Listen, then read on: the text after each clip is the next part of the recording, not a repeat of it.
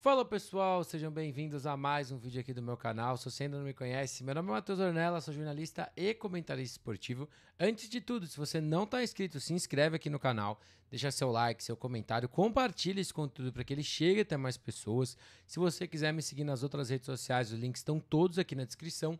E se você quiser garantir conteúdos como esse de forma antecipada, é muito simples. É só você ir lá no meu Apoia-se ou aqui no YouTube você ir no clube de membros. Né? Você me ajuda financeiramente a continuar criando conteúdos e garante aí vários conteúdos de forma antecipada. Né? Tem aí pelo menos uns 3, 4 conteúdinhos essa semana que saíram antes para a galera do Apoia-se e do YouTube. Bom, prévia da semana, é, 11 jogos essa semana, me surpreendeu quando eu estava montando o roteiro. Né? A gente tem abertura do Campeonato Pernambucano, abertura do Campeonato Gaúcho, né? Então isso aí coloca mais três joguinhos na conta do que a gente estava imaginando, né?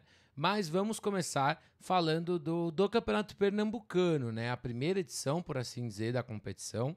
Né, são três times que estão nessa disputa. A gente tem Santa Cruz Imortais, Caruaru Wolves e o Recife Mariners é, Development, né, o time de desenvolvimento do Recife Mariners.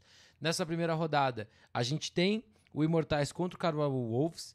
É um jogo que eu tô bem curioso, né? Porque esse ano a gente não vai ter o Imortais na BFA, então é provavelmente a única competição que o time vai jogar.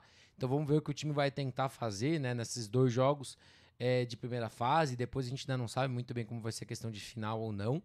É, é uma equipe que não, não dá pra gente esperar muita coisa em primeiro momento. Perdeu seu head coach, o Mike. É, Ano passado não conseguiu ganhar nenhum jogo na BFA.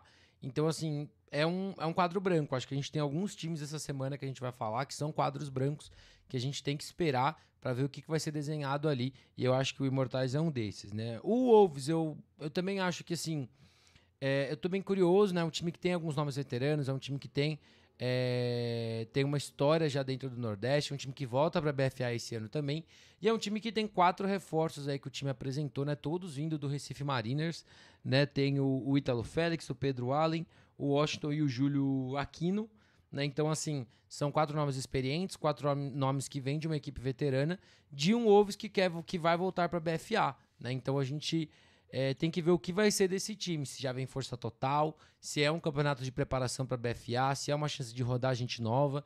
Então vamos ver é, o que esperar desse jogo. Eu acho que o Wolves é favorito, né, pela situação como um todo, mas é aquilo, são duas equipes que a gente não, o Wolves a gente não vê jogar desde a Copa Nordeste do ano passado, né, e o e o Imortais é uma equipe que realmente não dá para esperar muita coisa, né, ainda mais com a mudança de comissão é, nesse começo de ano. É, indo para o Campeonato Mineiro, né? A gente tem uma partida nessa semana. A gente tem Juiz de Fora, Imperadores contra o, é, contra o Contagem Confidentes, né? De contagem de volta ao futebol americano equipado, né? A última competição foi em 2019, né? Quando foi semifinalista da BFA Acesso, né? Uma equipe que volta é, e eu tô bem curioso, né? Eu não sei como que vai ser essa volta, se é um time recheado de novatos, se tem veteranos que jogaram pela equipe que voltam, né? O que esperar desse time em primeiro momento, mas vai encarar um dos favoritos dessa primeira fase, que é o Juiz de Fora Imperadores. Né? Eu consegui ver o primeiro jogo da equipe, eu acho que o time se arriscou um pouco mais no ataque, né? tentou passar mais a bola, tentou se desenvolver ali de outras formas. Foi um jogo mais encavalado ali do que eu imaginava, é, mas ainda para mim é, é, o favorito nessa primeira fase, pelo menos nesse grupo, né? Se vencer esse jogo, garante a vaga direto na semifinal, porque vai ter dois jogos e duas vitórias dentro do grupo. É, e vamos ver como que esse time continua o desenvolvimento né, do seu ataque e da sua defesa. Por contagem, mais um time que é um quadro branco. Né? Não dá pra gente imaginar nada de um time que não joga desde 2019. Então acho que o favoritismo até é mais fácil da gente apontar para o Imperadores por conta disso. Uh, indo para o Campeonato Gaúcho, né? O Campeonato Gaúcho que vai começar, né? São oito equipes participando, dois grupos de quatro. Né? Fiz um vídeo para vocês acompanharem também há um tempo atrás, está disponível para todo mundo, sobre a competição, falei um pouco sobre os times, algumas coisas mudaram de lá, né? então acho que é, vai ser bem interessante. Primeiro jogo que a gente vai falar, Matilha dos Vales contra o Bears Futebol Americano, é jogo que eu estou bem curioso, a equipe do Bears voltando a jogar desde a Copa RS de 2022, então voltando a jogar em partidas oficiais. Foi um time que trouxe ali vários reforços, né, anunciou muita gente, muitos jogadores brasileiros, né, de outros times aí do Rio Grande do Sul. E é um time que eu tô curioso para ver. O, o, jogo do Sul geralmente é muito físico, então vamos ver como que isso é, se impõe ou não dentro do jogo. E encara uma Matia dos Vales que tem ali dois principais reforços né, norte-americanos, né, o James Phillips e o, o Conran Pugh. Né, o James é quarterback, o Con é wide receiver. É, a equipe tinha trazido o Aldon Clark, mas ele acabou indo para a cavalaria. Né, e depois a equipe acabou anunciando o Con, que era wide receiver. Eu fiquei até pensando né, que tinha sido curioso né, ir atrás de um recebedor. É, e depois a equipe foi atrás aí de um outro jogador, um americano. Né? Eu acho que é um time que não dá pra gente esperar muita coisa. Eu acho que todos os reforços que o time também apresentou, além deles dois, né, podem fazer o time ter um começo bem interessante. Pode ser um time que de repente pode dar uma chacoalhadinha aí no Campeonato Gaúcho. E eu acho que eles são favoritos, né? Também principalmente por conta desses dois americanos, né? São dois jogadores muito rápidos, né? O, o Phillips é um quarterback de característica corredora, né? O, o Pilg é um wide receiver de corte rápido e tudo mais. Então, tô bem curioso para ver esse jogo. É, mas são duas equipes que a gente tem que esperar para ver jogar mesmo. No outro jogo, a gente tem um clássico já, né? Para abrir o Gauchão, a gente tem Santa Maria Soldiers e Canoas Bulls. Jogo que eu tô muito curioso, porque assim, o Soldiers foi um time que terminou muito mal a BFA do ano passado, né? um time que deixou a desejar, na minha opinião, em vários fatores. É, se reforçou, trouxe alguns nomes né, a, de outros jogadores do Sul, né, trouxe ali alguns jogadores para a linha ofensiva, que o time precisava mesmo resolver esse setor. E, para coroar, trouxe o, o, o Axel Aguirre, né, que é quarterback, running back, é um atleta ofensivo, né, jogador que vem ali do México. É, mais uma vez, a gente esbarra na barreira da falta de vídeo do México. Foi muito difícil conseguir avaliar o Aguirre, então a gente vai ter que esperar para ver jogar. Não acho que no primeiro momento vem para competir com o Douglas pela posição. O Douglas é um cara muito sólido dentro da equipe de Santa Maria. Eu acho que o Axel traz outras características é, e pode ser aproveitado em outras posições. Então é, é uma coisa para a gente ficar de olho, né? Eu acho que é um teste legal também para o Canoas Bulls, que tem algumas mudanças ali, né? A volta de recebedores importantes, a estreia do Caio como quarterback da equipe. Então, assim, é um jogo que eu. Eu acho que o Santa Maria é favorito, né? Porque, assim, é difícil também você apostar contra o atual campeão, uma equipe que dominou muito o, o Sul né, nos últimos anos. Mas eu acho que o Canoas Bulls tem uma chance bem legal de de impressionar, de fazer bonito, né? Tem ali três principais é, voltas, né? O Ariel, o Roden e o Caio, que chegou. Então eu tô bem curioso. Eu acho que o Soldiers é favorito, mas é começo de temporada, muita coisa pode acontecer. Tem essa questão do Axel, né? De repente ele vem ali e o Douglas não começa bem, ele entra de quarterback. Então tem muita coisa pra gente, pra gente ficar de olho, né? Mas tô muito curioso para ver a linha ofensiva de Santa Maria. Se reforçou, trouxe ali boas peças e é um, é uma unidade que precisava melhorar. Então vamos ver como que essa unidade começa, porque essa unidade jogando bem, o resto do ataque vai jogar bem. Indo para o Campeonato Paranaense, né? temos dois jogos esse final de semana, é, começando por Curitiba Lions e Londrina Bristol Backs. Né? O Curitiba Lions perdeu para o Francisco Beltrão Redfit na sua estreia, é uma equipe que apostou muito no ataque vertical no seu primeiro jogo, mas que não conseguiu é, ter um ritmo correndo com a bola, só quando o Breno corria, ou em jogadas desenhadas ou improvisando. A defesa fez o que pôde, o ataque se colocou em boas situações, mas o time penou para capitalizar em red zone e acabou pagando um preço por isso e também por alguns descuidos em special teams. Então acho que é uma equipe que já trouxe um jogo melhor do que a gente viu ano passado. É uma equipe que está com uma narrativa, um discurso muito de melhorar, de continuar tentando, continuar tentando, e isso é muito importante né? Porque o time tem que continuar tentando. Mas vai encarar um Londrina Bristol que eu acho que fisicamente vai trazer muita dificuldade para esse jogo. É, vem de uma vitória importante contra o Paraná HP, né? Uma chance de ficar 2-0. É, mas o ataque tem que jogar melhor do que jogou no primeiro jogo. Foi um ataque que capitalizou quando sua defesa te deu uma boa posição de campo ou quando o adversário cometeu faltas. Mas é um ataque que tem que ser mais consistente, seja quem for o quarterback, seja quem for o running back. Como esse ataque for jogar, tem que ter mais consistência. É um tipo de jogo que pode ser importante. Né? Para a defesa, eu acho que são atenção nos pontos que eu falei. O Curitiba Lions insistiu muito no jogo vertical até depois de ser interceptado. É, e nas corridas que o Breno pode fazer com a bola. Né? É um time que não consegue correr tanto pelo meio, mas por fora da linha talvez consiga alguma coisa. É, e meu favoritismo é para o Londrina Bags. Acho que é uma equipe mais pronta, que está melhor ajeitada para esse momento, mesmo jogando fora de casa. E o outro jogo é o Ponta Grossa Phantoms e Marigá Pyros, né? Um jogo que eu tô curioso, né? São duas equipes que se enfrentaram no final do ano passado. O Phantoms venceu, né? Na final da Copa Paraná.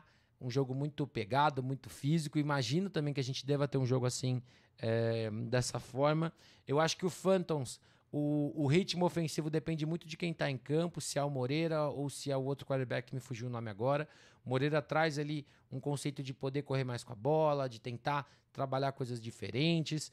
É, eu acho que é um ataque que precisa de mais ritmo, a defesa. Eu acho que é um jogo que a defesa vai conseguir ali evitar muitos, muitos estragos, mas o ataque tem que ser melhor também para que a equipe possa vencer. Contra o, o, o Paraná Guardian Saints, se o ataque tivesse jogado um pouco melhor, teria tido alguma chance naquele jogo. É, e o Pyrus vem de derrota, né? O Pyrus foi derrotado na estreia. É, e eu acho que assim, tem alguns pontos que o Pyrus pode melhorar desde dar um pouco mais de ritmo para o quarterback que foi começar o jogo, ou não ficar trocando de quarterbacks o tempo todo. A equipe rodou três caras diferentes na, na sua primeira partida. Foi um time que cometeu muitas faltas, então também tem que reduzir e tirar isso do seu jogo. É, a defesa jogou bem e vai ter que jogar bem mais uma vez, né? Eu acho que a fisicalidade da equipe do Phantoms é um fator, o time vai ter que se adequar a isso para não ser engolido fisicamente. É, e é um jogo de detalhes. Eu acho que special teams podem pesar um pouquinho mais, mas eu acho que o Pyros é um time que precisa de mais atenção, é um time que precisa ofensivamente ter mais cuidado com a bola para que possa aí é, tentar ganhar, para que possa fazer valer é, uma possível vaga ali tentando brigar pela, pela semifinal da competição. Lembrando que é, os dois melhores de cada grupo avançam para as semifinais. É... Indo agora para a SPFL, né? Temos cinco jogos esse final de semana. Dois vão estar tá rolando em Assis e três aqui em São Paulo, no Centro de Treinamento Touchdown, onde eu estarei nesse final de semana. Vamos começar pela Série Prata, né? A gente tem dois jogos da Série Prata, a gente tem três estreantes né, na Série Prata. Começando pelo jogo que vai rolar no CTT, a gente tem Taubaté contra Vikings Berserker, né? Assim, é, o Taubaté para mim, ainda é o favorito da Série Prata, mesmo sem entrar em campo. Eu acho que é uma equipe que mantém uma base interessante do final do ano passado, perdeu alguns jogadores do Rio de Janeiro que a gente sabe, mas é um time que manteve uma base bem legal. A posição de quarterback, pelo que eu fiquei sabendo, a gente pode ter uma surpresa, então eu tô ansioso para ver isso, se realmente se confirma isso ou não. É... E eu acho que é o tipo de jogo que, que define o tom. Né? O Taubaté ainda não jogou, né, dentro do seu grupo. É o segundo jogo do Vikings Berserker. Então, eu acho que é um jogo bem interessante pra gente ficar de olho, né? E eu acho que o Taubaté talvez seja o time mais físico da Série Prata em primeiro momento, né? Sem ver todo mundo jogar.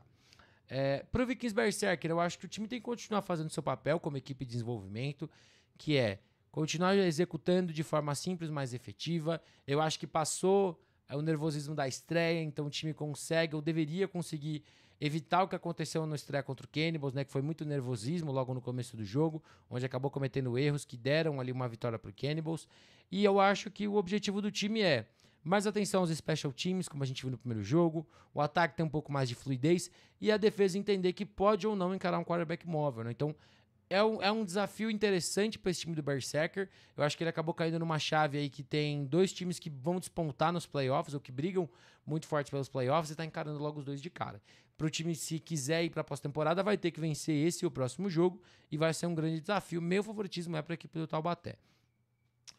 É, o outro jogo da Série Prata, a gente tem a estreia de Assis Captains e Avaré Lions. Né? O ponto importante é que é, esse grupo tinha o Prudente Thunders, e o Prudente Thunders desistiu é, uma semana antes da competição começar. A adaptação da SPFL foi até simples. Assis e Avaré vão se encarar duas vezes, uma em Assis e uma em Avaré. As duas equipes vão passar para os playoffs, porque os dois de cada grupo passam, e como só tem os dois, os dois, obviamente, estão na pós-temporada. É, então, é um jogo muito curioso. Eu falei sobre isso lá no meu Instagram, inclusive nas caixa, na caixinha de perguntas da segunda-feira, de que é bom e ruim você ter esse tipo de situação, porque assim, é, você pode se preparar melhor do primeiro para o segundo jogo, mas de certa forma você não sabe se o seu ataque não funciona porque é aquela defesa, porque você ou se é porque você executou mal. Então eu acho que assim tem prós e contras desse modelo que foi adotado para as duas equipes. Né? Eu estou bem curioso para ver. Eu acho que o SS Captains é favorito pelo simples fato de que eu nunca vi o Avarelion jogar. É, não tem muito material da equipe, é uma equipe que vem da adaptação da EFL, né, que é aquela Arena Football League, né, que basicamente é só um futebol americano com menos jogadores, porque o formato de jogo é bem parecido. é, estreiam na SPFL, primeiro jogo da história da equipe na SPFL, é mais um dos times que é o quadro branco, né? Eu acho que é um dos times que a gente tem que esperar para ver, para conhecer quem, é, quem se destaca, quem não destaca, quem joga bem, quem joga mal. É, e o Assis hum, se manteve a base do ano passado, vai ter uma defesa sólida para os padrões da Série Prata e um ataque que, se for mais consistente, é um time que vai poder brigar pelo título também. Né? Vale a gente lembrar, o Assis não foi para a Série Ouro por um detalhe de um ataque que jogou mal numa partida de playoff. Mas assim, é um ataque que tinha o Thiago como quarterback, que tinha um braço interessante, mas faltava ali um pouco, talvez, é, na, de força ou na tomada de decisão. Um jogo corrido que pode ter alguns momentos, né? uma defesa que rouba a bola e deixa o time em boas situações. Então eu acho que, por já ter visto o Assis, entender o que o time pode fazer, eu acho que para mim é um favorito é, para esse primeiro jogo. É um dos times que pode despontar pelo título e também o fato do Avaré nunca ter jogado. Então, até nos pitacos dessa semana, vocês vão ver que eu vou ter que ser meio genérico ao Avaré por nunca ter visto o time jogar. Então, é, é isso. Os outros três jogos que a gente tem são da série Diamante, né? São três jogos pelo grupo A. Né? Teremos o segundo jogo né, de Rhinos e Rio Preto Vailers, né, as equipes que não se encararam há 15 dias atrás por conta do que aconteceu no ônibus do Rio Preto Vailers. É, mas a gente vai começar falando de Guarani Indians e Sorocaba Vipers. É um jogo que tem a principal chave para as duas equipes. Quem perder está fora da luta dos playoffs. As equipes começaram 0-2, com, com duas vitórias você não passa para os playoffs, então você vai precisar vencer esse jogo. Então, se o jogo acabar empatado, as duas equipes estão eliminadas e quem perder está eliminado. Lembrando que na fase de grupos é possível se empatar na SPFL. Né? Se até o final do jogo acabar empatado, não tem é, prorrogação. É, então essa é a principal questão. Quem perdeu tá fora, vai só cumprir tabela nos últimos dois jogos. E assim, é, um, é, um, é uma coisa complicada, né? Porque os dois times têm pedreiras ainda nos dois jogos que restam, né? Então, teoricamente, é vencer e brigar muito para garantir ainda uma segunda e terceira vitória. Sobre esse jogo, eu acho que o Vipers tem que continuar na construção desse ataque em torno do Delago. É, é complicado. Eu acho que se o jogo terrestre entrar mais cedo no jogo, a equipe tem mais chance de conseguir fluir no jogo aéreo. Né? O Fred e o Tyson conseguiram ter alguns momentos, mas no segundo tempo o time conseguiu dar uma desgarrada maior no seu jogo aéreo. O time precisa reduzir faltas de ataque. Faltas de ataque tiraram touchdown, tiraram boas campanhas. Então o time precisa melhorar como um todo, né? Para evitar essas faltas, tomar mais cuidado com coisas básicas e realmente se estruturar para conseguir fazer o seu melhor jogo. Do ataque do Indians, é, eu acho que assim, o time tentou né, variar a posição de quarterback, usou hora o Branco, hora o Elias. Eu acho que essa é uma decisão, se não acertada, é uma decisão que eu entendo, porque você. O Elias cometeu muitos erros no primeiro jogo, no segundo também tomou uma interceptação ruim. O Branco, eu acho que ele comete um pouco menos, se arrisca um pouco menos, até por ser mais novo, né? Vamos dizer assim, na posição, se arrisca um pouco menos. Os dois trazem o aspecto do QB que pode correr com a bola, você pode desenhar alguma coisa diferente. O Branco também pode jogar como wide receiver se o time precisar disso. Então eu acho que é um ataque que também vai girar muito sobre a questão de como a rodagem de quarterbacks funciona ou não. Eu acho que o Indians é favorito para esse jogo porque eu sinto que, a, apesar de não ter mostrado, é um time que tem talvez mais material humano ali para fazer jogadas ofensivamente. É, defensivamente, é um jogo muito curioso para a gente ficar de olho. Essa defesa do, do Indians melhorou muito do primeiro para o segundo jogo. É, a defesa do Vipers também melhorou muito do primeiro para o segundo tempo contra o, o Ocelotes. Vai ter a estreia do Arthur De Luca, que vem do Galo, então um baita nome, jogador de seleção brasileira, que, que vai estar tá com, com a equipe de Sorocaba. Então é também um jogador para a gente ficar de olho, estreando na secundária pela equipe. E assim, é um jogo que eu tô bem dividido, eu acho que pode ir para os dois lados. Meu favoritismo é pro Indians, muito por achar que o ataque eventualmente talvez consiga tirar um coelho da cartola. Eu acho que o processo ainda do Vipers vai demorar um pouco mais. Eu acho que a gente deve começar a ver colher frutos é, no Brasileirão D2, né, que é onde o time deve jogar no segundo semestre.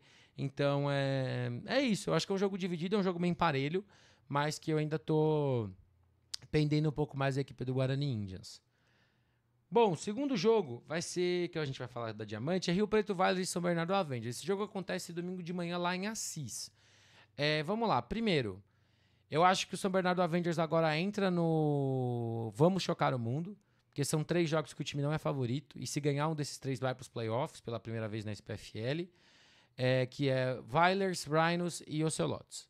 Né? Então, assim, é, eu acho que pega a maior pedreira nesse primeiro jogo, considerando o ano passado, né? apesar do Rio Preto Valles não ter feito um jogo espetacular na partida de estreia, o atual campeão de tudo, né? Então a gente tem que dar esse mérito pro time. Eu acho que é um jogo muito interessante. Ano passado as equipes se enfrentaram e o Rio Preto Valles deu um, um baile. Eu acho que esse, esse, ano existe uma chance de um jogo mais parelho, acho, mas eu ainda acho o Rio Preto Valles favorito. Eu acho que é um time que tem um ataque que pode ser mais ter mais variedade no que pode fazer. Eu acho que tem uma boa linha ofensiva para correr com a bola. O Verlang é, mostrou que não, não, não deve complicar o jogo, vai pegar o que a defesa estiver dando, pode ter jogadas para ele correr com a bola. Pode ter também uh, o reforço dos dois americanos jogando também agora no, no ataque, né? O Pierre e o, e o Bjorn que são dois jogadores que só jogaram na defesa, mas pelo que eu fiquei sabendo pelo pessoal do Weilers, eles iriam gradualmente ser usados no ataque, então a gente talvez já veja isso nesse jogo. É, e a defesa do Rio Preto Varas é muito boa. Eu acho que isso é, é um fato.